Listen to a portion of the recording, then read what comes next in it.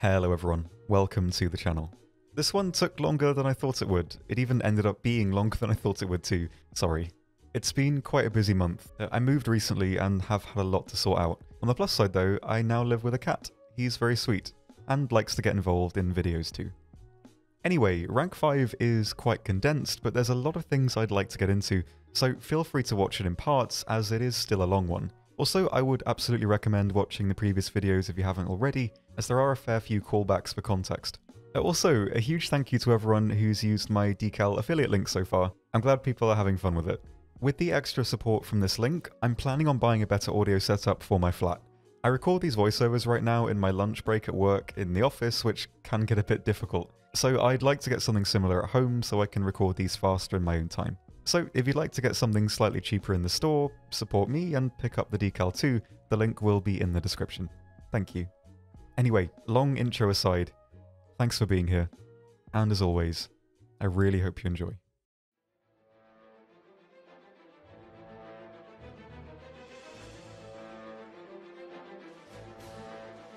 So, first off today, we have one of the strangest looking ground vehicles, the M50 Ontos, which loosely translates to thing in Greek, which is quite apt as there's nothing really in the game that looks quite like this thing. It's visually pretty unique, and as well, it's functionally quite unique too. This thing has six 105mm recoilless rifles strapped to the sides. They're labelled as 106mm, but they are actually 105s.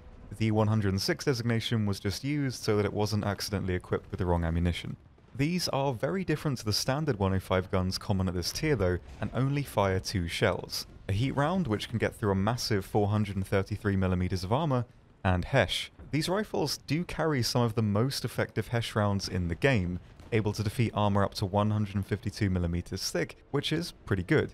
But we'll go into these rounds in more detail a bit later. Armor, as expected, is nothing to really pay much mind to. It can withstand heavy MGs from the front, but it won't be protecting you against anything else. It does sometimes bounce regular rounds if the angle is steep enough, but in any case, this doesn't factor into gameplay, it's mostly just luck. Mobility is overall pretty good. The Ontos is a TD by designation, but like the Scorpion, it can scout like a light tank, and the mobility it has does let it fill that role. Off-road, when spaded, it can cruise in the high 30s to low 40s and accelerates to speed pretty fast. It can only hit 7 in reverse, which isn't too impressive, but it can make its way around the map decently enough. It also has the acceleration to swing the hull around quickly too, which is very much necessary as this thing can't fully traverse the turret. It can only move 40 degrees to either side, which brings us on to probably the most difficult aspect to this vehicle, which is using the guns. Because the guns are offset, they don't fire from the middle of the crosshair, and because each gun is positioned slightly differently, you consistently need to adjust your aim to land your shells accurately. Beyond around 400 meters, the rounds will land centrally to your crosshair, but any closer and you will need to compensate. You can though download some custom sights from War Thunder Live if you're on PC. These sights show the trajectory much clearer, and where the shells will fire from in the scope, which can be pretty useful. The guns fire in the same order every time. The first three shells come from the left and the last three from the right. These guns are all counted collectively as your primary weapon, which means they all function as one single module, every gun will reload at the same time. So effectively, in gameplay terms, you have three clips of ammunition that you can use. Once you've fired off six shots, the next six will load together. The reload is actually very quick for each cycle. Stock, the reload is 16.9 seconds, and on an ace crew, you can get this down to 13 seconds, which is just over 2 seconds per gun. Unusually forgiving, actually. One annoying thing about this though is that all 6 guns share the same damage model, so if you get clipped in one of your barrels, all 6 of them will break. Kind of tedious, but it's probably just the limitation of how these weapons are coded. It doesn't ruin the vehicle, but it can still feel unfair sometimes. Apart from positioning, one of the biggest choices for this vehicle is which rounds to take. Because it functions as a clip, you can't really mix your rounds. You can't take, say, 8 HESH rounds and 18 heat rounds, only 3 total clips of each type. Back in the day, I would have recommended the HESH as the standout option, but these days the heat does hit very hard, although it's more a case of the HESH being nerfed. The heat on these rifles is much more reliable than the heat on the T92 or Scorpion for example. Because of the penetration and 1.6 kilograms of explosive filler, this thing does a lot of damage. Heat is similar partially to AP in the sense that if a heat shell has 300mm of pen and hits armor 290mm thick, it won't cause quite as much damage as less of the jet is reaching the crew compartment. It's much less pronounced than the AP, but it does share some similarity here, which in any case can make this heat round very reliable. It one-shots ammo very consistently and has a comparatively wide cone of damage. As for Hesh, if you land a Hesh shot well, it can one-shot almost anything. But for tanks with decent frontal armor, you will need a precise shot. If you hit add-on armor or side skirts, the round will do absolutely nothing. In general here, I'd say that the Hesh is better at knocking out vehicles that were already easy to knock out, but less reliable against tougher tanks like King Tigers which are still very common. So in general, I would recommend maining the Heat, as you will be able to at least penetrate anything you hit. With an accurate shot, the Hesh is really effective, but because of the offset firing platform of this thing, getting those precise hits isn't always going to be easy. Both have use, I wouldn't say the Hesh is useless, but I would recommend the Heat for this BR. As for where to play it, the most important thing is getting the jump on your enemy. Ambushing at close range is definitely where I have the most fun with it. A strong early game rush to a close range area or cap point works really well. You don't want to be caught out when using this thing as it can't really react very well. Because of the offset and the bounciness of the guns, snapshots are very hard to pull off and if an enemy is coming at your side, you'll need to swing the hull around too. The rounds are also fairly low velocity at around 500 meters a second for both, which further cuts into this reaction time. You do have ranging machine guns on top of four of the barrels, but these are only really accurate within around 400 meters, which is pretty easy to aim for anyway. You can still snipe with this thing, as your rounds pen the same at any distance, and at range, your rounds are arguably easier to aim accurately. Another bonus to this is because you have six shots, if your first shell misses, you can follow up a second shot instantly before your enemy can react to you, which is an advantage only a handful of tanks have. But in any case, this thing still works great at close ranges where you can really get the jump on people. So laying in wait with an ambush playstyle is a very reliable way to go, either behind a corner at close range or behind some sort of low cover. This thing does have 10 degrees of gun depression so you can use ridgelines quite effectively. As this thing doesn't have much turret to shoot at, enemies will sometimes just completely miss you, so it is a good spot to look out for. In general though, try to look out for a very linear sightline and stick to some sort of cover. Out in the open, you are very vulnerable. But because this thing is so small and doesn't look like a normal tank, it can hide around areas of the map most other tanks can't. So even sitting next to a tree or car can give you a couple of extra seconds before you're recognised. Early game, this is definitely the play to make, setting up next to a well-travelled route is fairly reliable. You will be able to disable literally any vehicle you can meet at this BR, and you can disable multiple vehicles very quickly. So if you can catch the first wave of enemies, you can usually take a few of them out. As for what cover to hide behind, either try to find soft cover like bushes or hard cover that's uniform in shape. If you were to hide part of your hull behind a rock and only poke out part of it, only three of your six guns can fire out of this cover, which can be difficult to work around, especially if an enemy is aware of you. Because of where the sight is placed, you can't really side scrape with this thing. In the late game, you can get away with roaming with the Ontos, just rolling around behind enemy lines. It's honestly quite fun just lurking down the back roads of some maps and shotgunning people. It's like one of those wandering spiders. Actually, weird tangent, but my brain really doesn't like it when I play this thing. When I angle the barrels up, I always get reminded of when those Brazilian wandering spiders lift up their legs in that threat display. It always makes me take my feet off the floor. Anyway, Despite the difficulty involved with aiming the guns, it's actually quite a forgiving vehicle, as you effectively get 6 tries at hitting and disabling an enemy if you're fully loaded, which means you can play it safe in regards to getting kills if you're not quite as confident, disabling the breech with the first shot and finishing them off with a follow-up. If you know the locations of ammo racks though, do always aim for them, as this round is very reliable at detonating ammo, and in general actually for most post-war tanks, you can pretty much just aim center mass, if you can hit the hull of a Leopard, T-54 or IS-3, this round will pop them pretty easily. One final thing to keep in mind is to keep an eye on how many shots you have left. The reload is okay relative to the firepower you have, but it is still long, and you don't want to get caught out as if you do, this vehicle doesn't really have any fallbacks. If you only have one round left and are in a safe location, fire off the last shot to reload the rest of the guns, just so you're better equipped when you run into an enemy again. Pros, great firepower, good mobility, and versatile. And the cons, poor survivability, and poor firing platform. Verdict? I'd get it. It's pretty much up tier proof and works well anywhere if you can stick to cover.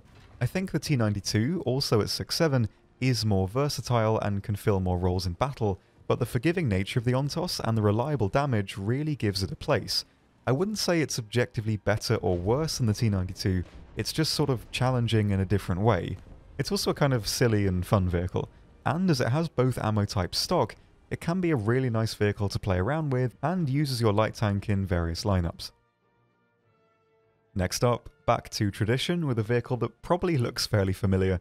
This is the M46 Patton, very much a successor to the M26 Pershing in the last episode. And I'd comfortably say that if you didn't like the Pershing, you probably will like the Patton, as it improves on a lot of the tedious aspects the Pershing had, most notably the mobility.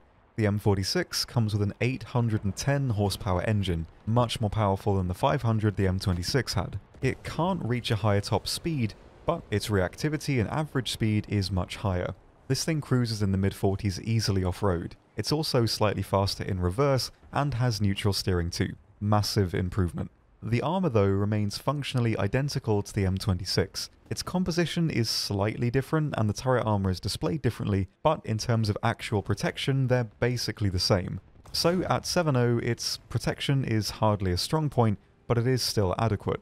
You will still bounce shells from some of the weaker guns from time to time. This thing does also get add-on armour, but it's not really worth taking. All it does is add a wire mesh around the turret. This is intended to disrupt heat fuses, but in game it doesn't completely defeat them. Any common heat shell will still break through the wire mesh and pen your turret.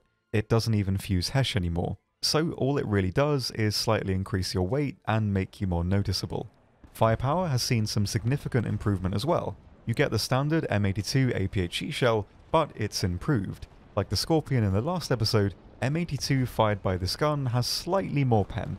Not by much, but it is better.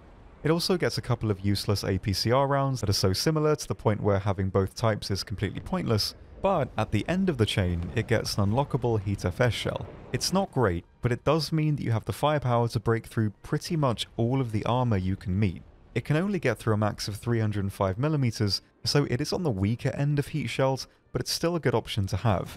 It doesn't cause anywhere near the same level of damage as on the Ontos, so from my perspective, M82 is still the best round to main on most maps, as long as you aren't fully up-tiered. And that's really all there is new for the M46. Functionally, it's just a faster Pershing with better rounds. The best way of maintaining your armor protection is still angling and keeping on the move, which is made even easier by the improved mobility. So, we're reaching the point in these reviews where it gets considerably harder to identify a definitive playstyle for these versatile medium tanks and soon to be MBTs. They can do everything. There's nothing that actively holds them back at a baseline.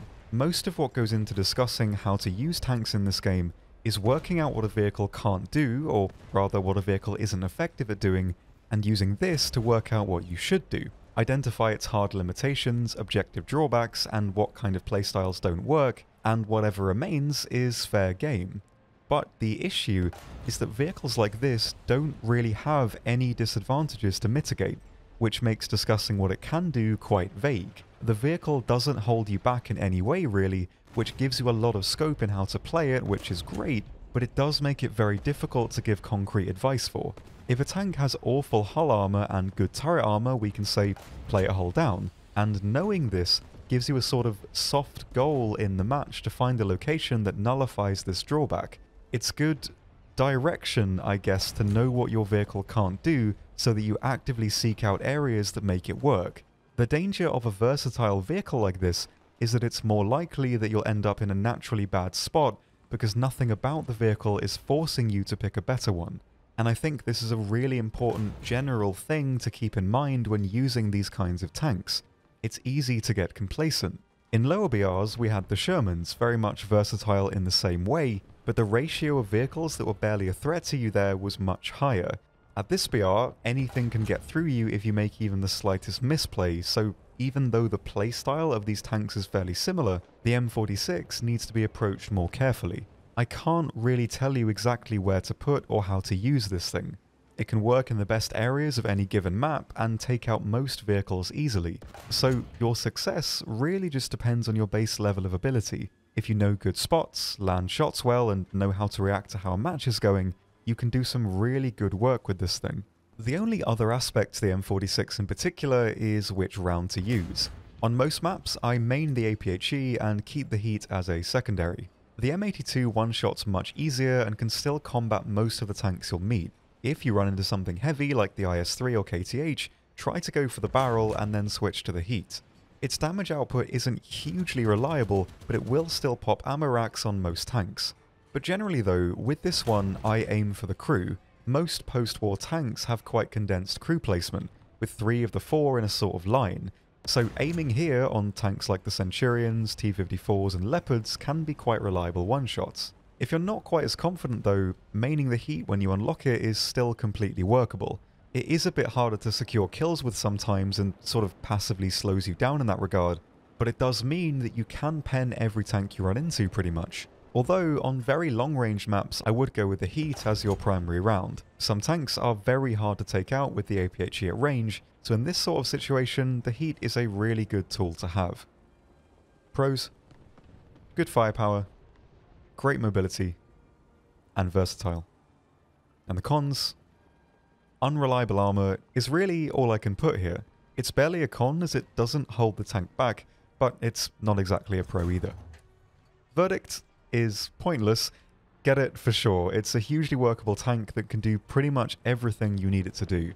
It'll still work in up tiers and can be used on most maps. You can make a nice lineup for 7.0 for sure, especially if you have the T29, but if not, it will still work fine at 732. Next in line, we have the M47, which takes the base platform of the M46 and improves on it in every way. These two tanks are functionally very similar, but the M47 is far more usable. Mobility is basically identical. The M47 is slightly heavier, but not to the point where you'd ever really notice or feel the difference. It's also more reactive regarding firepower as well, as the M47 has a much faster turret traverse, 25.2 seconds with the drive upgrade, which is the same speed as the Bulldog, really nice for a medium tank. This thing functionally uses the same gun as the Scorpion, so it shares the same main rounds, M82 and the improved Heat FS shell. It does only have 15mm of extra penetration when compared to the heat shell on the M46, but it's the velocity that really makes it stand out. 1,216 meters a second. This is even better for long-range fights, as the M47 comes with the rangefinder modification, making long-range heat very accurate. It also comes with commander gunner control too. Armor is better, but not really to the point where it's any more reliable. Essentially, all Sabot and heat rounds can get through all of your hull and turret, but it is better against APHE. An average range, if you angle, the Long 88 and Russian 100 will bounce on the upper hull and the middle part of the lower plate. There are parts of the hull that aren't strong enough to withstand these rounds, but it will catch poorly placed shots if you rush an enemy into firing. It's essentially the same for the turret as well. These APHE shells can get through the middle and the top of the turret face, but there are parts that still can bounce. Armor isn't really worth dwelling on much though, as you aren't reliably protected against anything. Armor is only really worth actively keeping in mind if you know that you're completely immune in a certain situation to a certain vehicle. Outside of meeting lower tier vehicles that are being purposefully up tiered, most of the common tanks at this BR will always be a threat to you. But as long as you play it like the previous mediums, keep angled and keep on the move if you're being shot at, the armor will be the best it can be. If you are strafing with an enemy though, always keep your turret pointed directly towards them. The corners of your turret normalize and are a very, very easy pen. As for playstyle, not a huge amount changes, but some options you have are more reliable. Playing at close range with the APHE can be easier due to the increased armor and turret rotation speed, and sniping at long range with the heat can be quite easy too. A benefit of playing hull down as well is that you're very hard to one-shot with heat or sabot.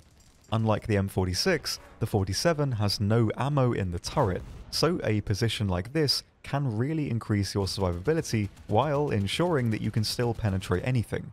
In 7.7 and above though, I do usually main the heat with this thing on most maps. On some urban maps and in 7.3 games, you can get a lot of one-shots with the APHE, it is still reliable, but the heat does speed up your reaction times. It's very easy to aim, and with this thing's improved reactivity, you can point and click on enemies very quickly and you will get through their armor. At close range, this round has basically no drop, so even though the APHE is workable in this environment, the heat may just be a safer bet. In any case, always take a mix of rounds. If you can disable an enemy with your first shot, a follow-up with APHE, knowing that you have the extra time to aim still works well. Apart from that, it is still a very versatile MBT, no hard downsides to compensate for. Pros Good firepower, great mobility, and versatile. The cons Unreliable armor, pretty much the same. Verdict is also the same. Get it. The M47 is one of the best vehicles the US gets this tier. It doesn't have the best gun or armor, but it excels in each area enough to work well in any situation. It's a proper workhorse and can do anything you need it to. This one is definitely worth spading. Next up, we have the M48. A strong visual change in design, but doesn't really add much, if anything, over the M47. In-game, it's almost a bit of a downgrade actually. This thing gets the same Hesh round the Scorpion had, and similarly starts off with terrible APCR. You'll want to go for at least M82 as fast as possible here. It does also have a rangefinder and commander gunner control, but does lose the fast turret traverse. The M48 is 2.5 tons heavier than the 47, so it is noticeably more sluggish. Top speed is almost the same, but it does accelerate slower and traverses slower as well. It's still able to do anything it needs to do, but it's noticeably not quite as good. The reverse speed is also only half as effective at only 8 kph. This is an issue as its armor is not really very effective either. A lot of the parts of the armor are stronger, but the armor itself is less vague than the M47 in the sense that the weak points are more obvious and as such easier to hit. Any APHE shell around this BR can get through the lower plate very easily, as well as the turret ring and the sides of the turret from the front. At average ranges, guns like the Long 88, the Russian 100 and 122 can break through the turret in these spots very easily, and as the M48 only has 4 crew, one-shots are far more likely. It does have a more pronounced cupola as well, but this rarely fuses APHE. Most of the time, it just knocks out the commander. It also goes without saying that any heat or sabot round can punch through you anywhere.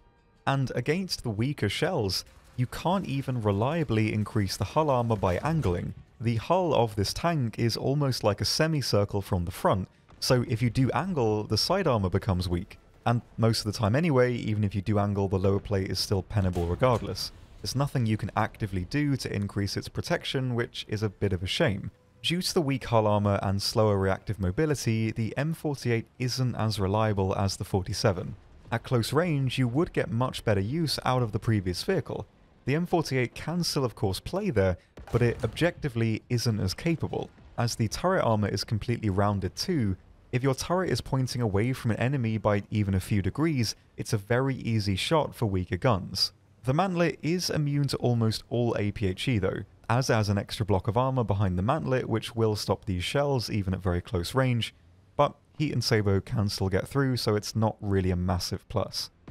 Due to these quite prominent drawbacks, the M48 is much less reliable when fighting at close range. At long range though, it's still fairly decent. It doesn't have any active advantages over the M47 here, but it's the most reliable spot you have. Again for this, I would use the heat in tandem with the rangefinder and try to stay hull down or at least try to hide the lower plate.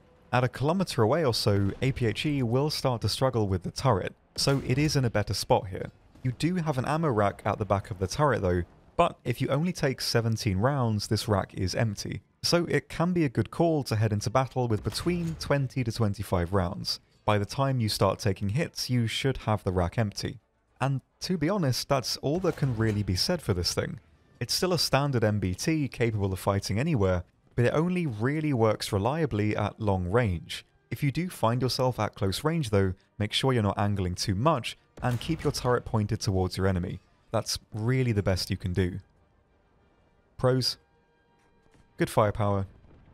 decent mobility, and versatile. And the cons, unreliable armor. For real this time. Verdict, I'd honestly consider this one.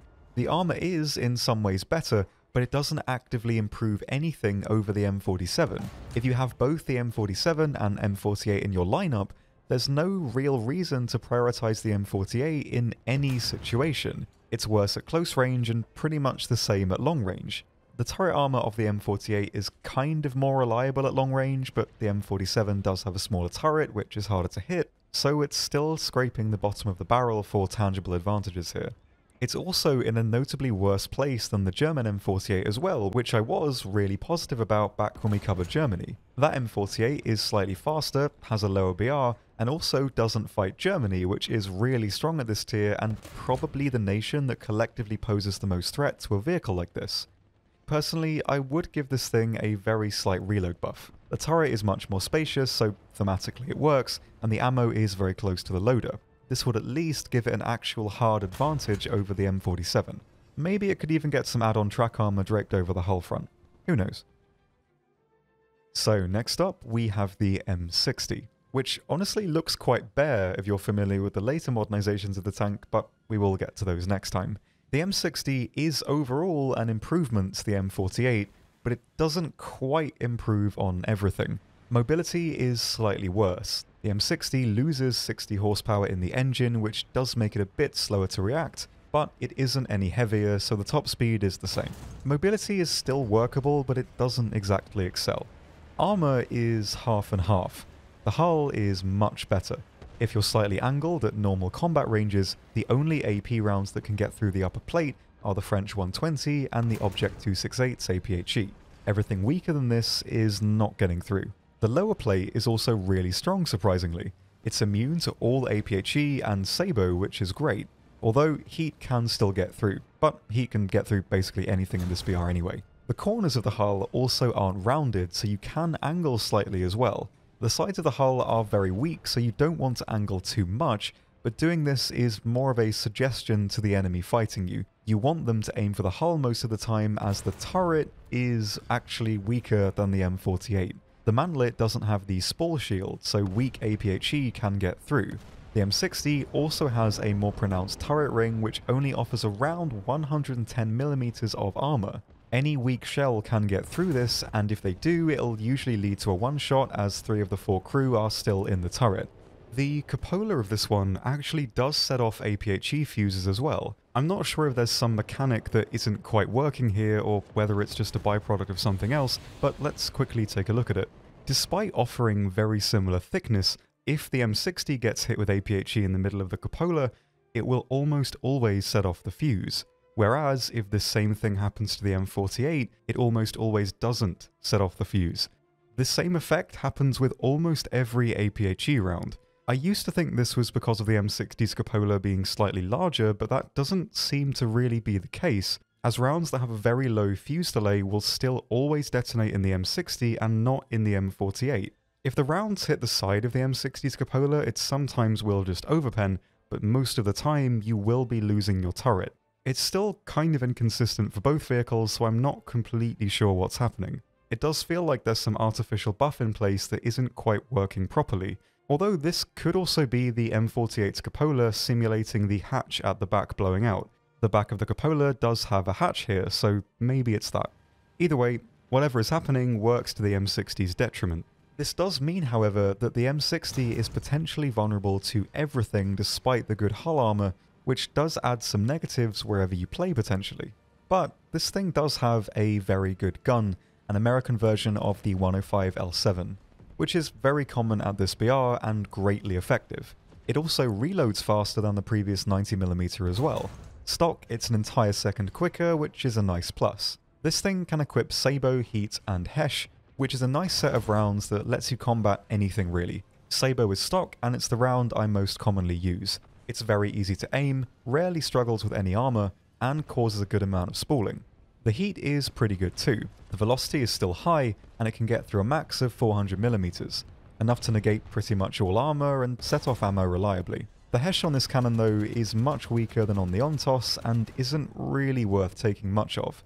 You can take a couple of shells though, as there are some scenarios where the Hesh can get you a kill over the other shells, but this kind of situation might only come up 1 in 20 games, so it's really up to you.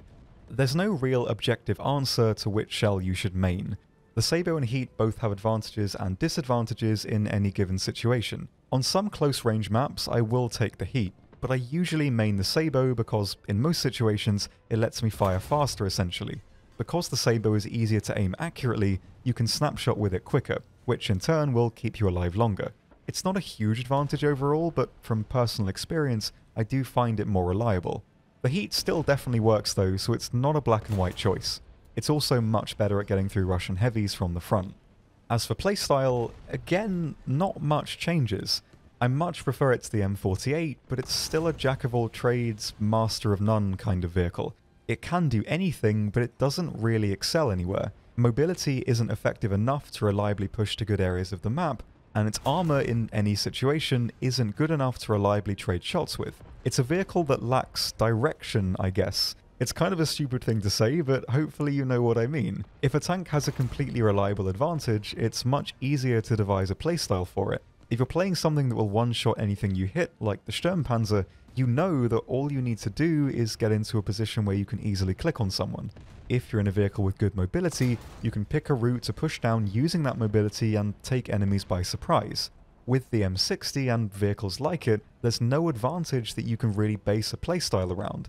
You do have your firepower, but your other assets can't always back it up. For a vehicle like this, the only thing that matters is where you put it. A good spot can make a mediocre vehicle perform well. You still have a rangefinder and playing defensively at long range will still be workable. If you do want to play here, similarly to the M48, there is ammo in the turret. If you only have 17 rounds, the turret is again completely clear of ammo, so around 20 or so shells can keep you safe when hull down. You'll almost be impossible to one-shot like this with Sabot or Heat. You can also still brawl with it, or at least play at closer ranges. With your gun, you can click on enemies very quickly and usually disable them. You can bait shots with your angled front plate, and tanks with APHE will still have to aim for weak spots. This is where I usually play it, also for the reason that you actually kind of want enemies to aim for your hull. The turret can't really protect against anything, so giving enemies the option of hitting your hull gives them more opportunities to bounce. One final thing to keep in mind with close quarters fights is that your engine deck gives you a bit of a wide dead zone, I don't actually think it's intentional. You can't depress your gun over a large area of the engine deck even though there's no visible obstruction. Maybe there's another reason for this, but from looking at it on the surface, it doesn't quite seem right. Pros. Great firepower, decent mobility, and versatile. Now the cons, unreliable armor, and constant weak spots. Verdict, I think this might be the most torn I've been on a verdict for a while.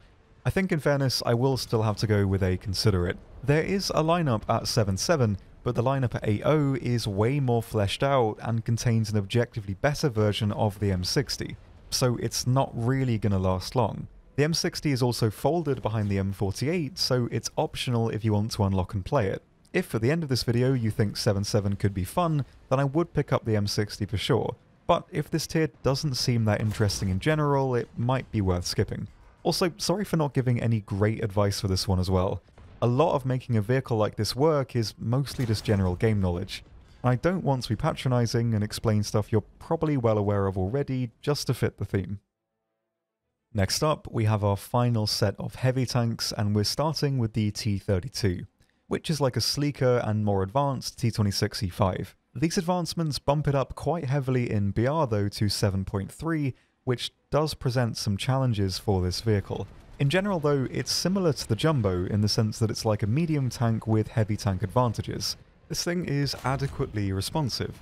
It only has a max speed of 35 kph, but it can reach this speed quite easily off-road when spaded. Its initial acceleration and hull traverse is a little slow though, but if you start moving forwards or backwards before you turn, it does speed this up. You should do this for every tank though if you need to angle quickly. It can also hit 13 in reverse too, so it is capable enough, and you don't really need much additional speed due to a drawback we'll cover in a bit. Armor though is the most important factor for a tank like this, and it's pretty good, or maybe selectively good would be a better way of putting it. Regarding standard AP and APHE, If you aren't at point blank range, the only guns that can get through your upper hull are the French 120, German 128, and the 152 on the Object 268. All other weaker shells can't get through without aiming for weak spots, but unfortunately, there are several. Any contemporary APHE shell can get through the corners of the lower plate and the machine gun port. If you angle, the lower plate weak spot is mitigated slightly, but you can't completely nullify it. The side armor of this thing is still decently strong, so you can comfortably angle to throw off certain weaker shells. The turret though is much more reliable. At standard ranges, barely any AP type rounds can actually get through. The turret face offers 280mm of base protection with an internal spall liner as well, so at around 500 meters, the only round that can technically get through the turret face in the BR range is the 130 on the IS-7. You're rarely going to see this, so if you're hull down at range, it's only going to be Sabot and Heat getting through you. And even then, you can soak up these rounds from time to time. At around 800 meters, 105 Sabot can't get through the turret. Even Heat can fail to penetrate on the sides of the turret face and the corners of the mantlet. So in the right spot, the T-32 can be invulnerable to the majority of vehicles it can potentially meet.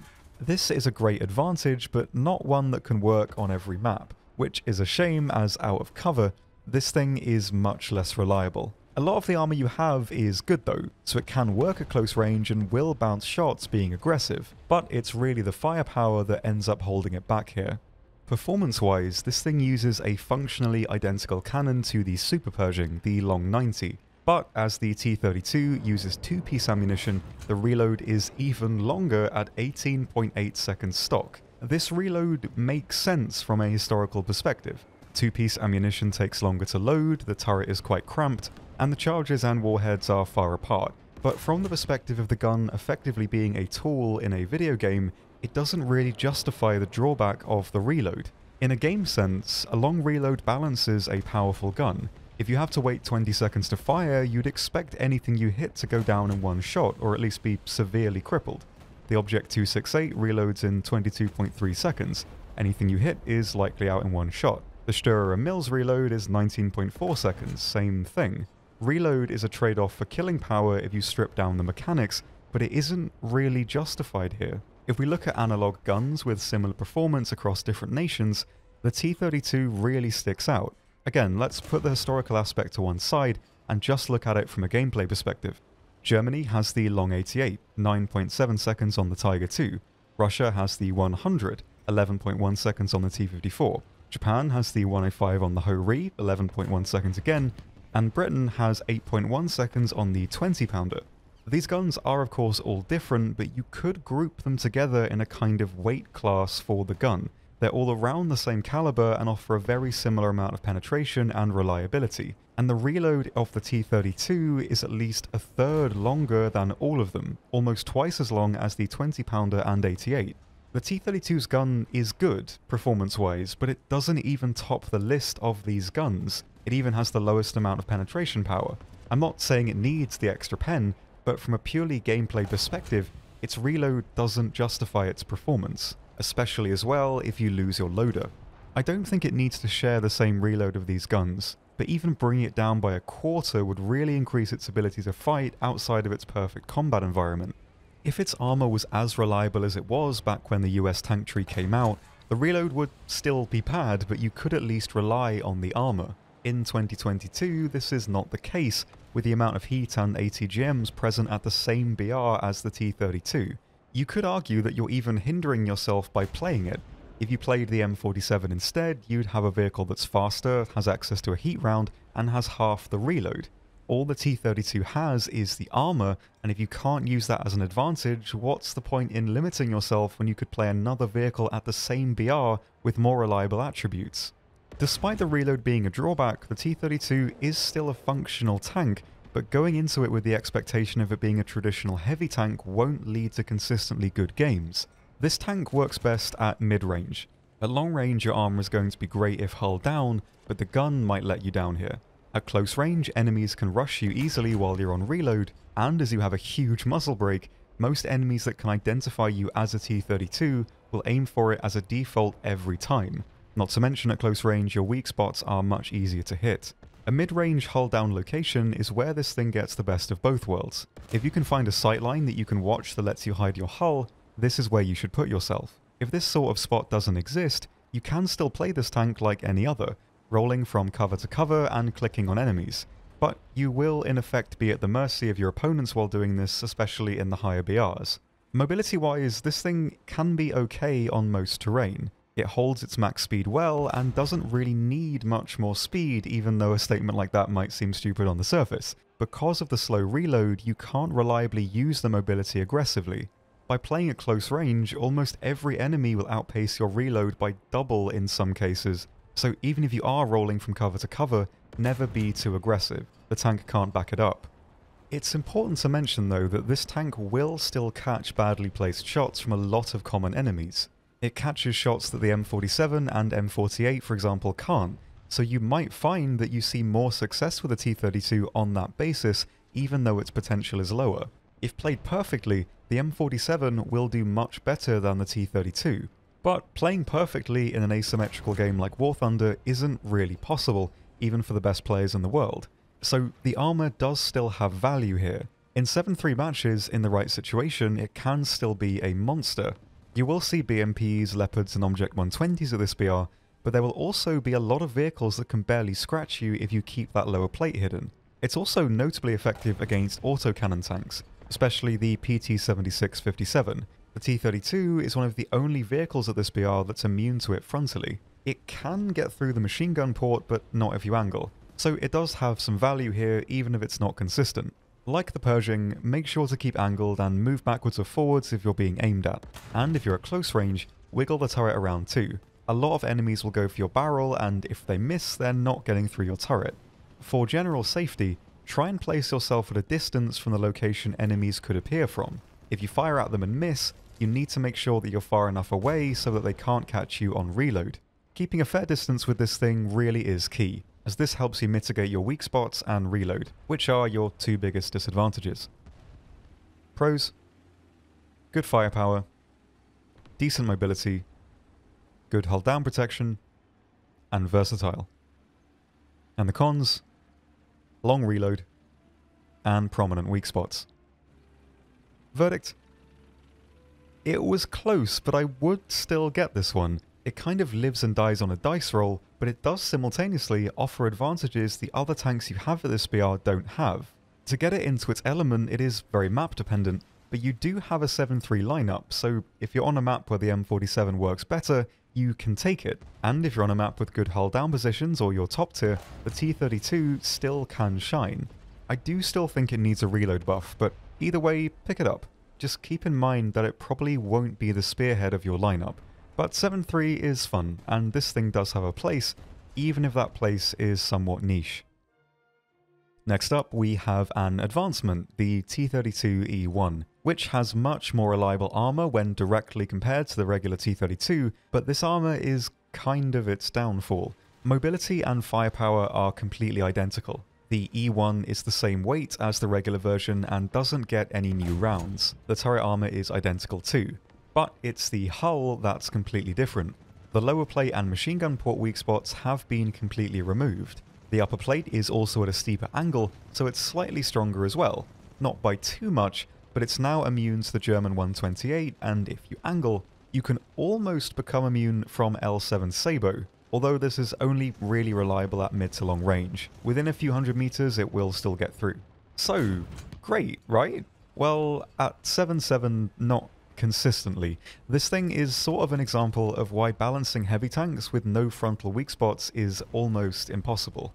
Balancing vehicles in this game is less about the vehicle itself and more so the effect it has on vehicles that have to fight it. If played well against a team of mostly 6-3s or 6-7s, a tank like this can be devastating. In this setting, entire lineups of tanks are unable to penetrate it. It would be entirely dishonest to pretend this would consistently happen, but the possibility is there, and if it does happen, it can ruin the game for several players who have no way to counter it, apart from hit the barrel. And loosely, I believe this is why it's at 7-7, despite this battle rating crippling the reliability of the vehicle. Mobility is workable and the gun is workable, but this thing is where it is because of the armor. The armor is absolutely its defining trait and is the primary factor putting it at this BR. And to put this into perspective, bear in mind I probably missed a few vehicles, so give or take a few percent, but counting every currently available tank that isn't an SPA within the 7-7 spread, 6-7 to 8-7, around 82% of the vehicles you can potentially fight have a round that can completely negate this thing's armor. So let's just say 4 out of 5. Of course, you will still fight vehicles below this BR that can't touch you. You can easily fight a vehicle that's stock or isn't loading the shell but can damage you, but the point is that it's not reliable. And if the armor isn't reliable, there's little point taking it out. Even if you angle perfectly, it's not always going to help. This thing, more commonly than the regular T-32, will fight strong MBTs like the Type 74, Leopard A1A1, the Chieftain, all the while having a reload that's almost twice as long as all of these vehicles that actively outclass you in every way. The E1 is still fighting to the strengths of old technology in an advanced meta it doesn't quite belong in. And if it stays at 7.7, it will just keep getting worse, as there's little chance now that a vehicle will be added within this BR range that can't punch right through it, so that ratio we mentioned before will just keep going up. It's still more than possible for all the pieces to fall into place while using this thing. The gun one-shots a lot, the mobility lets you roll around, and you will still bounce shells, even strong ones from time to time, but it really is like rolling a dice. Imagine a game where you have a six-sided die and you lose every time it doesn't land on one, and have to pay the dealer $5. Why would you even play that game? It would suck. It's a lazy analogy, as it's not like you'll lose by default just because you can fight tanks that can point and click on you, but you have more reliable options at this BR, you have more games to play. There are other tanks at this battle rating that have more reliable advantages you can actually lean on and play into. You can't really lean on the E1 to do anything for you here. This thing's best spot is still a hull down really, at least in terms of reliable protection, which is identical to the previous T-32 at 7.3. The hull does offer an advantage, and I've definitely been in situations where being in the E1 let me push enemies I couldn't have pushed otherwise, but it won't always be like that. Regardless, like the previous T-32, you might still find yourself doing well in this thing because it will catch poorly placed rounds. I don't want to try and present this tank as unusable. If you know what you're doing, you can still come out positive using it, and if you have a lineup at 7-7, you can just choose to play it in down tiers and ignore it the rest of the time but there's still another 7-7 heavy tank to go. Regardless, for playstyle, not a lot changes. You should still look for hull down locations and keep angled and on the move if you're being engaged.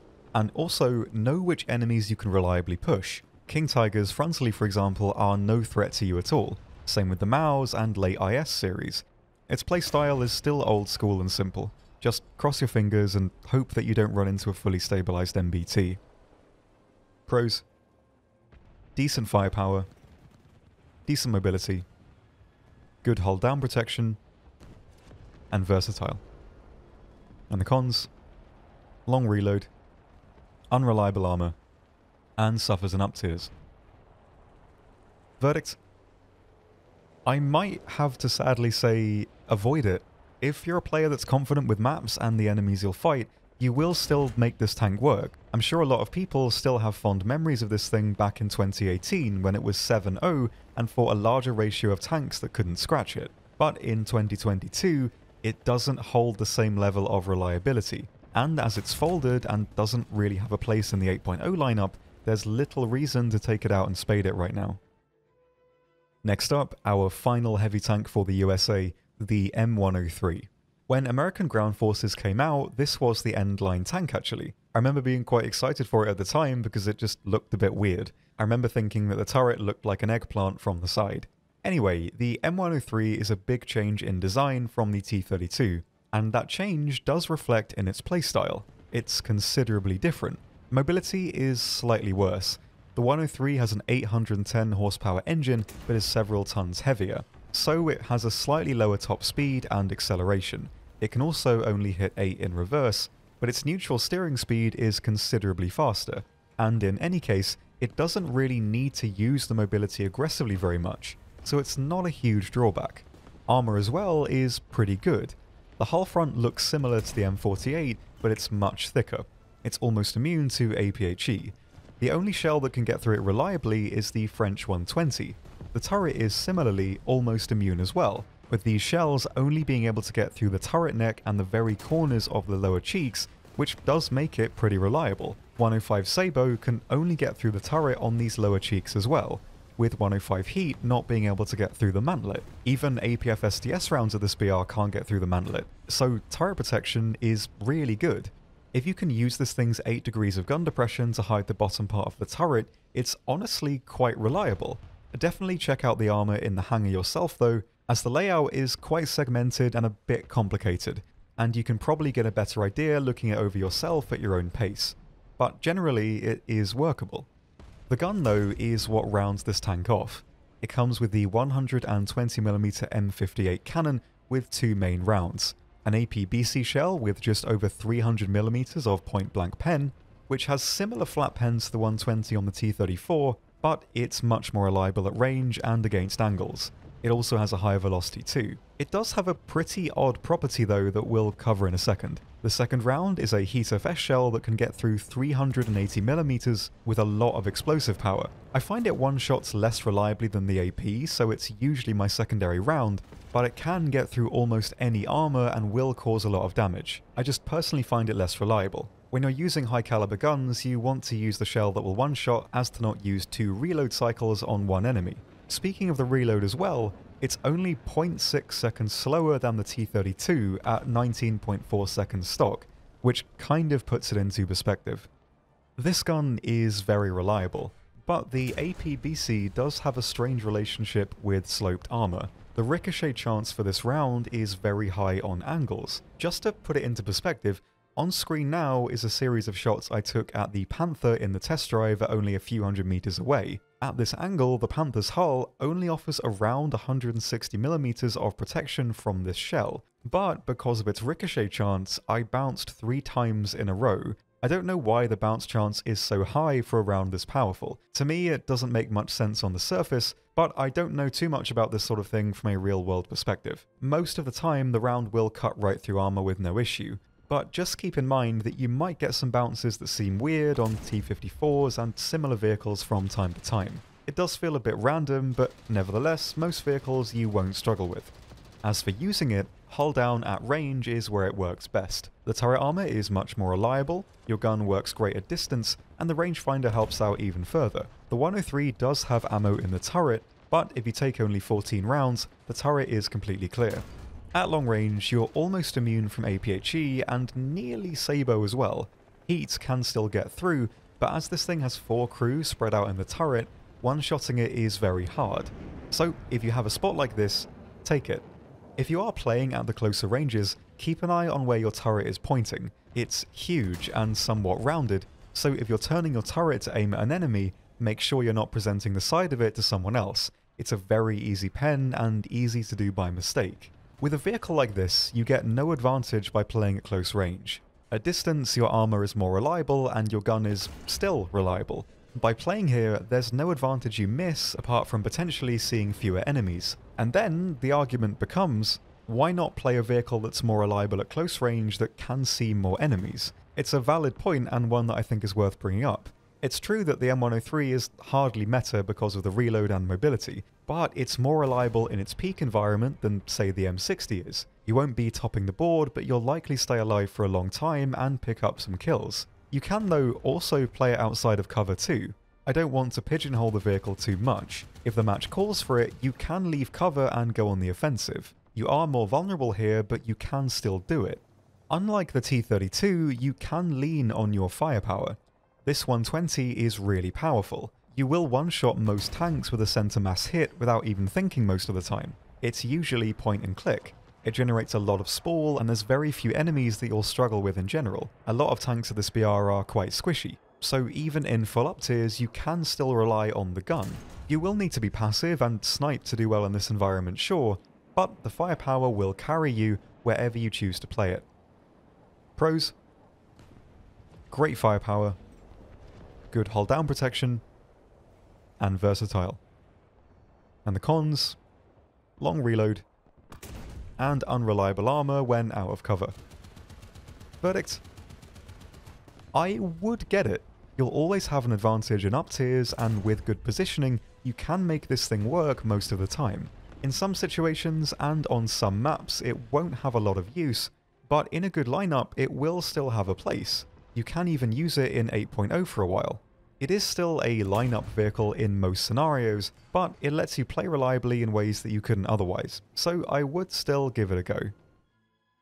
Next up, something completely different, this is the M163, our only SPA this tier, and one that's wildly different to the previous vehicles. This thing is on the chassis of the M113 and comes with a single but powerful cannon, the 20mm VADS, Vulcan Air Defense System, with a fire rate of 3,000 rounds per minute, which is insane really.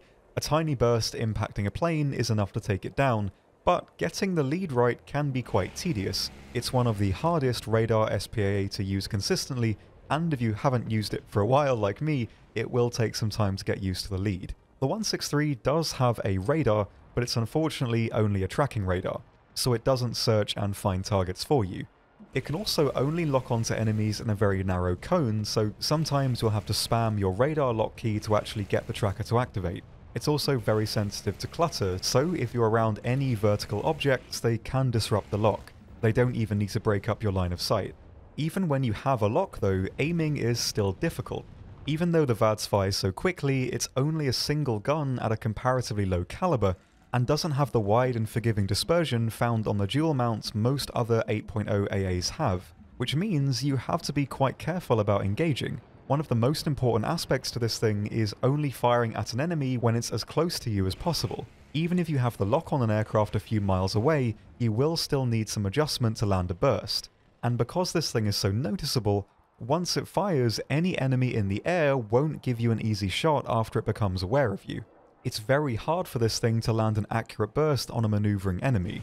I'd say it's probably the worst radar AA at doing this, so to get kills, you need an easy target most of the time. The 163 is the most usable when it has the element of surprise. If you can see that an aircraft is on a dive run, wait until the last second to start blasting. You only need a few shots on an enemy to take it down, so you really need to make those shots count basically. Despite it not really being an incredible advantage all things considered, the 163 is also probably the hardest radar AA to identify from the air. It's small, doesn't have a spinning dish drawing the eye, and doesn't look like a normal anti-air, so most enemies won't pick it out easily. One sort of incidental drawback to this thing specifically is actually your teammates in Radar AA. Out of the examples from 8.0 to 8.3, the 163 is one of the least usable, and if you're competing with a few teammates for air kills, you'll rarely be the one scoring them. Most other AA in this bracket have a search radar too, so they can spot enemies before you. Also, most players using radar AA do like to fire way before they should, especially if they're competing for air kills with other AA. This will usually spook enemy air and cause them to be much more cautious, which is a really bad situation for this vehicle and can make using it a bit frustrating. It's also not incredibly reliable in the anti-tank role either. It can strip off barrels and tracks very quickly, but you have no armor and most of the time an enemy will just click on you before you get to disable them. This thing can only get through a max of 53mm at point blank, which drops off fairly quickly. So you can only reliably take out light vehicles, and even then you need a good angle on most of them in order to disable them quickly. But the mobility is good, so you could potentially luck your way through a flank as a first spawn but this is rarely successful in my experience. You also have a pair of light vehicles at AO that can fill this sort of role anyway, which we'll cover next time. The best you can do with this vehicle is to just sit by some cover, make yourself harder to spot, and when you see an enemy aircraft approaching, fire at the last second. And if you're thinking of spawning this thing, take a look at the team list first. If there are already a couple of friendly anti-airs, you likely won't contribute much. Pros. Decent anti-air ability, and good mobility. And the cons, poor survivability, no search radar, and difficult to aim. Verdict? Despite it being close to the bottom of the barrel, I would still get it, just for the reason that it's better at combating fast aircraft than the other options you have available. I don't think it's worth spading, mostly because coming up after this one in rank 6 is one of the best radar anti-airs, so I just pick this one up close to the end of your tier 5 grind and use it until you unlock the next one. So next up we have a very unique vehicle. This is the T-95, one of the few super heavy tanks in the game. We briefly looked at the T-28 in the last episode, which is basically this thing, but without the extra tracks and side armor. The T-95 has four individual tracks. It's one of only a couple of vehicles in the entire game to have this setup. Sadly though, if you lose just one track, you can't keep driving, you'll be stuck just like everyone else. This tank is also tied for the slowest vehicle in the entire game at a max of 12 kph and a reverse of 4. This thing weighs 86 tons and only has a 500 horsepower engine, that's the same amount of horsepower the Pershing has, so speed is absolutely a limiting factor. But because of the four tracks, traverse rate is actually pretty quick. Once spaded and on a good crew, you can swing the hull around relatively quickly, which is really the most you could hope for for a vehicle like this. Firepower is honestly really good. This thing comes with the 105 T5E1 cannon, which is found on the T28, and a functionally identical version being found on the T29. At 20 seconds stock, the reload is slow, but it does come with a fantastic APHE round. 177 grams of explosive filler and just over 250 millimeters of penetration. This gun will rarely struggle with anything apart from the odd Maus, but generally very capable gun with excellent one-shot potential. Armor is the most decisive element of this tank though.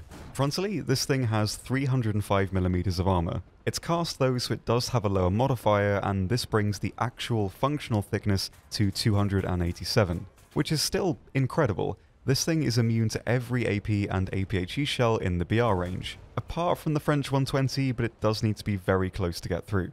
On a bad angle from the front, even some early heat will fail to penetrate. And segueing actually onto the side armor, the main drawback of the T28 was the side, only 50mm thick, which severely limited what it could actually do. This thing though has no such problem, actually having a very effective amount of side armor, relatively speaking. Not to the point where the side armor factors into the playstyle in any way, but it can actually save you. The middle part of the side armor is triple stacked, having just under 200mm of effective thickness. The lower side armor is about the same as well. Although, because of all the space in between the first plate, tracks and the actual side of the hull, APHE will fuse before actually penetrating the crew compartment, so this section of the armor is pretty much immune to APHE. These factors generally don't come into gameplay much, but it's still an advantage to know of in any case. The T95 has one major weakness though, and it's not actually the cupolas. These are still weak points, but they function differently to regular cupolas, like the M48. These were changed a few years ago so that they no longer fuse any APHE shells. A round hitting them will just spore some shrapnel into the crew and overpen. These rounds will no longer one-shot the tank, which is really nice. AP will usually knock out a couple of crew members though as it generates much more spalling, and additionally HESH and high caliber HE will cripple this thing if it hits the roof. But the main drawback is the muzzle brake. It's very big and easy to hit, and because the T95 is so unique and well known, at this point almost everyone has just learned to shoot for the gun and then flank, which kind of negates the armor a bit and can make this thing tedious to play. In terms of actually playing it, it's not too complicated as the mobility severely limits what you can actually do. So in effect, you almost can't do anything wrong in the T95. It's a very reactive vehicle, ironically, in the sense that things will usually happen to you first, and you react to that. But you can get away with being quite aggressive if you're careful, spade the vehicle, and have a decent driver. Long range is quite a sensible spot for this thing. The weak points are much harder to hit, and if you're not up tiered, you'll almost be immune from 95% of the vehicles you'll fight. Another benefit of a long range spot is that you likely won't have to travel very far to get there. What I usually try to do is just park at the end of the first sightline I come across. Doing this is quick and you'll earn lots of points by bouncing shots and form a good distraction for the rest of your team. Usually a couple of enemies will get so hooked on shooting you they won't push up, so you can be passively useful like that. In the right situation, this thing can entirely lock down a sightline. Although it's also a bomb magnet, if any aircraft is up, they will go for you constantly. You're big and too slow to drive off, and so if you knock out an enemy and they can come back in a plane, they'll know exactly where you are and beeline right for you. If you are watching a sightline at long range and generally being annoying, which this thing can be, the majority of the enemy team will be aware of you, which brings up this likelihood even further. This aspect ties into another issue as well, which is the repair cost at 18.8k. From my perspective, it's this high because in the right situation, the T95 is almost unkillable and can really disrupt the enemy team, but that's never going to always be the case, which can add some frustration to playing it. You have no ability to dodge a bomb, and you'll get punished quite severely if you do get bombed, which probably does seem a bit unfair. So take the repair cost as another soft con to the vehicle in general. The main downside though is heat. At 7.3 and above, all it takes is one enemy with heat to negate this thing entirely, and at long range, you're very vulnerable to this. Of course, you're still vulnerable at close range as well, but if a round can get through you easily at long range, it sort of defeats the point of being there. So check the BR and who you're fighting before you spawn.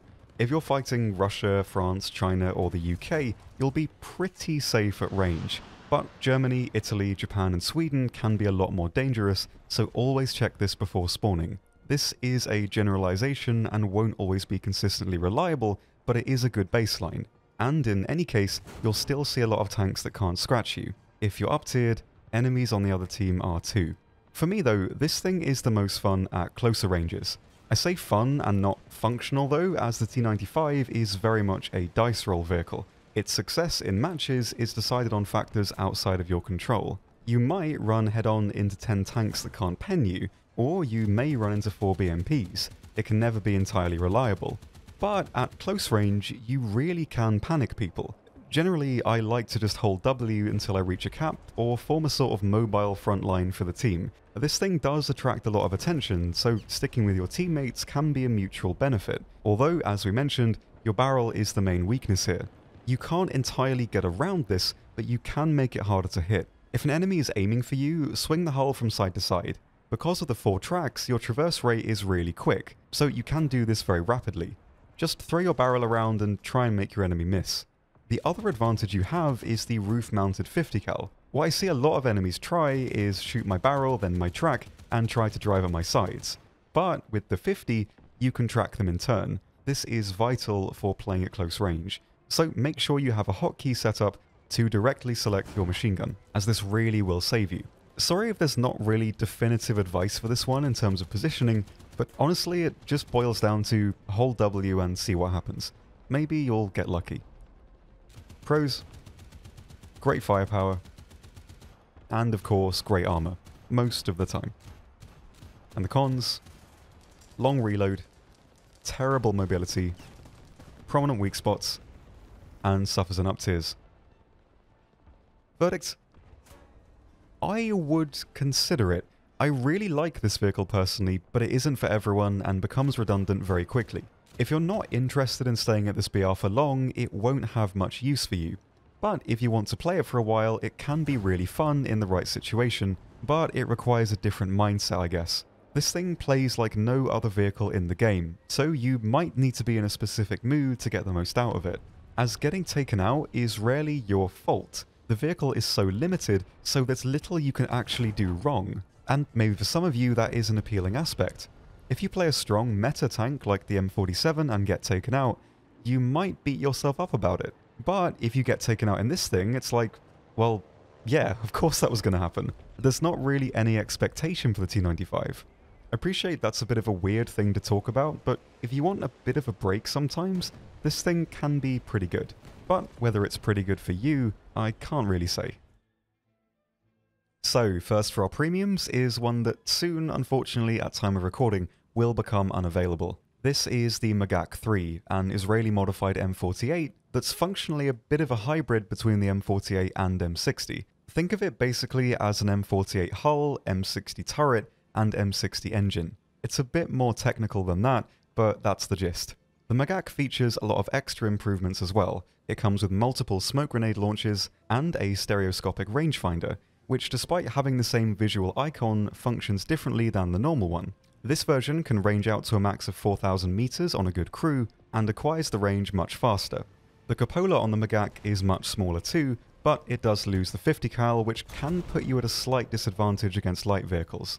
It's also, as you can see, covered in ERA, Explosive Reactive Armor. The Magach uses the Blazer type, which adds 260mm of protection against chemical shells. From the front, these bricks can block 105 heat if they hit the upper hull and parts of the turret, but they will still break through the lower plate and turret sides. Either way though, it does add decent protection, even though the Magach unfortunately combines the unreliable hull of the M48 with the unreliable turret of the M60. It's still very much a master of none kind of tank, but it's pretty good at range thanks to the ERA and the rangefinder. Is it the best premium this tier? I don't think so. It's got a good lineup and adds something over the tech tree analogs, but it doesn't really let you do anything new, and for a vehicle you have to pay to use, you'll want something a little more than that. For 50 euros, I wouldn't say it's a bad idea to buy it as it's not unusable, but it still hardly stands out. Although, if you like the very general playstyle this thing offers, it might fit for you. By the time that Israeli Ground Forces comes out, which is planned for the next update, this tank will be removed from the store and eventually reinstated in the Israeli tree. And if it does follow this trend, it will likely never be sold in the US tree ever again. So if you are watching this close to the time of release, you won't get another chance of this one in the US tree. Although, don't feel pressured to buy it just on that basis. It's always a shame to miss out on something, but at the end of the day, it is just pixels. And there's still some more premiums to look at that aren't going anywhere.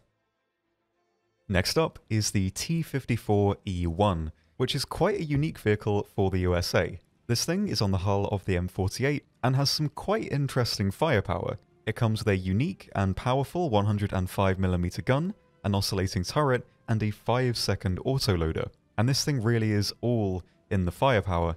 It comes with APBC, HeatFS, and the Sabot is the real standout here. It's more powerful than the L7 Sabot across the board, with much better angled penetration. On top of that, it causes a lot more spalling.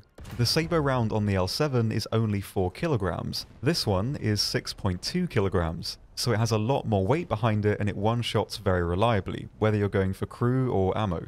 It has 9 rounds in the autoloader, so effectively you have 10 shots before you need to wait and reload. Reloading the rounds into the autoloader can take some time though, so if you're having a very action-packed game, it can get a bit difficult. Firepower is really the only standout option on this one. It has the same hull and engine as the M48, but is 8 tons heavier, so it does feel a bit sluggish. The armor for AO oh isn't very impressive either. The turret can bounce in certain spots as it is very inconsistent, but overall, anything will have the potential to knock you out. The accuracy as well also gets pretty poor if you fire continuously, making fighting at range a bit annoying sometimes.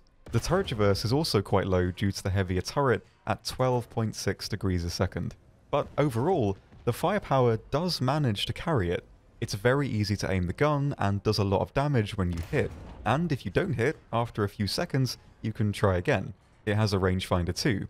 As we mentioned a few times already, AO has a pretty beefy lineup, and this thing can work there. But it does still lack contemporary technology like thermals and a stabilizer, so up tiers can still be challenging. I think it adds more over the Magach in terms of new things it can do, but it is quite vulnerable in up tiers if you aren't in a strong spot. So it does have notable pros and cons. It's also fairly expensive at 8,560 GE, which is technically cheaper than the Magach, especially if you get it on a discount, so it's not a bad vehicle. It definitely does have a lot of potential. If you think you have a good enough grasp of the game to counter this thing's drawbacks, it will net you a lot of RP and Lions. But if you're still a bit new and maybe not quite as confident, you will commonly be fighting vehicles that have a lot of advantages over you, so I would only pick this thing up if you're really sure about it. Also, try and wait for a sale if you can. It cuts out a big chunk of the price. Finally today, quite a cute tank, the T114, which is a pretty interesting light tank. This thing comes with the same gun that's found on the Ontos, but it doesn't get the HESH shell, which is not too much of a shame these days. It's also partially auto-loaded. It doesn't have a traditional mechanized ammo rack, but it has a first stage of 3 rounds with a very fast reload. 2.6 seconds on a decent crew, giving you 4 shots before you have to reload the rack. You can still fire after the rack is depleted, but your reload will be around 4 times longer. In any case, the rack does refill quite quickly, so overall it is a nice setup. The vehicle is also very mobile forwards and backwards, and is more survivable than most similar vehicles. It's still very weak, it barely has any armor, but it can't overpressure like other light tanks. It can also bounce rounds off the upper hull sometimes too. Its protection is obviously not reliable, but it is better than similar vehicles, which is worth something. The T114 is quite a forgiving vehicle actively, passively not so much, but if you make a misplay down to your own actions, it's not very punishing. You can fire the gun rapidly if you miss your first shot, and you can move around quickly if you get spotted and need to relocate. The turret can traverse a full 360 which is much better than the Ontos, but it's only able to elevate the gun 8 degrees, so it can't always aim up enough if you're on a downwards incline. That's really the only tedious aspect to it though. This thing is basically up tier proof, so you can put it in various different lineups and it will still work there. You will need to be a bit more careful with it in up tiers though, as thermals and stabilizers do cut into its reliability a bit. Out in the open, or if caught on the move, this thing is dead. The gun is very bouncy, so it is slow to react, especially as an enemy doesn't really need to aim for very long to knock you out in one shot.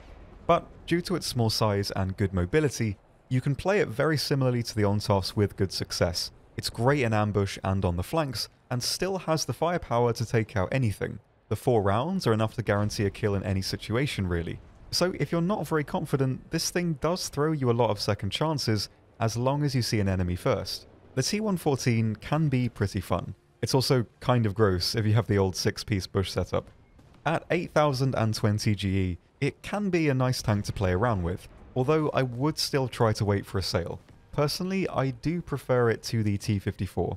If you can get it into a good spot at any BR, it's pretty consistent even against stronger enemies. And it does work nicely in different lineups too, although if you prefer tanks with at least a bit of armour, the T-54 is still good. I like both of these as vehicles, although the T-114 does have a slightly lower reward multiplier than the T-54. And also, just for the end here, for a bit of perspective, the next tier has one of the most effective premiums in the entire game, and is able to research rank 6 as well. So if you're not completely sold on these two, which is fair as they're not utterly outstanding premiums, rank 6 might have what you're looking for. So next up are our planes, and as this tier for lineups is basically just 7.0 to 7.7, there's only a couple to look at. Nevertheless though, we're starting with the F3D1. This is a slightly chubby naval jet that's decently equipped for the environment. Its best loadout is okay. It can carry a max of two 2,000 pound bombs that unfortunately do drop together but it is enough for a double kill most of the time if you get lucky. It does also come with a set of smaller bombs too if you're low on spawn points, so you can commonly take it out. The aircraft also comes with four 20mm cannons, which are great at knocking out aircraft and tanks as well. They're also very easy to aim as they're placed in the nose. A lot of tanks were nerfed last update with their engine decks becoming much weaker. These guns shred the engines on anything really. Its flight performance as a fighter is decent too, it can turn fight with some of the heavier aircraft and will outpace most contemporary props, and it's also one of the cheapest aircraft to repair this tier, so you won't be breaking the bank by taking it out. Next up, we have the A2D1. This is a pretty expensive premium for what it is at 6900 GE, but it is still very effective, so I did want to talk about it. This thing is a very heavy and powerful turboprop able to carry a huge load of ordnance. The A2D has a few standout options. Two 2,000 pound bombs and eight 500s which drop in pairs, two 2000s and 20 HVARs that fire separately if you want to splash AA in light vehicles, and if your aim is good enough, 20 250 pound bombs that still drop in pairs. You can even take it out clean wing. It's a decently capable fighter as long as you stay straight and manage your speed. Although for full price, I wouldn't recommend that you buy it just for CAS alone. Only pick it up if you'll play in air as well. This thing is a lot of money, and from my perspective, it's not worth paying that much for something you have no guarantee of being able to use. If you can't get enough spawn points to use it, it's just sitting there. Whereas, for that price, you can buy three talismans this tier for ground vehicles, all of which you can use consistently and whenever you like. If you get it on sale, it's very much worth it, but I wouldn't rush to buy this one if you are considering other options. And finally, we have the F-89B, I almost didn't include this one, but from giving it another thought, it's still really effective. This thing is a large twin-engine jet fighter with no suspended ordnance, but it has some incredible gun CAS, six 20mm cannons with a total of 1,200 rounds, and a pen on the armor piercing belt of 53mm. Of course, you're never going to achieve that pen unless you're already plummeting into the ground, but at most ranges you'll have around 35 to 40mm of penetration, which is enough to shred anything on the ground. It rips through roofs, engines, can spray down anti-air, and destroys aircraft too. It's quite big and can get caught out on low speed, but with some careful flying it can really be a monster. It is however 7540 GE, so similarly to the A2D, I would wait for a sale if you do want to pick it up. In clear airspace, this thing has huge potential though. It's almost a bit like a baby A10. And in any case, it is pretty fun to use. So if you've got the budget, it's a solid pick for this BR. So there we are guys, that's everything for today. On screen now are the best lineups I think you can make using vehicles from this tier. I haven't included the VADs as the only lineup it works in is in the next tier and there's no real point up tiering your vehicles that rely on their advantages at their BR at the expense of an anti-air vehicle so I've left that one for now. Also, for aircraft, it's also not really a bad idea to just use the prop aircraft from the last tier. They still work fine, and the repair cost isn't too high. There's only one mainline uh, aircraft that I included in this video because the repair cost on the others is just not really worth it most of the time. So using the earlier cheaper vehicles can also work, and because they are from a lower BR, they're cheaper to spawn too, which works quite nicely. Apart from that, I really hope you enjoyed it. Sorry it's a bit long again. I don't know if people enjoy these or not. In the past, I used to kind of limit myself when I made them to only include the most important points, but as I'm writing them now, I just keep thinking of other things that I think are important to keep in mind. Like, if I'm playing a vehicle and it's something that I actively keep in mind while I'm playing it, I always include that now, and that usually makes the videos a bit longer. Um, so hopefully it's not too much of a slog to get through. And also, sorry it took a while. Uh, it's It took way longer than I thought. It's been quite a difficult um, stretch of time, I think. But we always get there in the end and that will continue to happen. Next year is quite long. Uh, there's a lot of vehicles and a lot that I want to get right, um, so I will take my time with it. I'm thinking of trying to work on some shorter videos intermittently so there's not too much of a wait between the usual stuff, just so there's always something to listen to, I guess. I have some ideas, so we'll see what sticks, I guess. Anyway, it's currently Saturday right now, and I'm in the office doing this last stretch of voiceover. I tried to do it on Friday, um, but it was before me and Mike's stream enlisted, and I didn't have enough time, so I've had to come in today to do it. So I will now go home and edit this all together, and hopefully by Monday you'll be watching this. Anyway, predictably, I am still very bad at ending these sign-off segments, uh, so I will let you get on with your day now. Thank you for giving me so much of your time in watching this video. It does mean a lot that you're here at the end. Anyway, I hope you have a lovely day, enjoy War Thunder, and I will see you next time.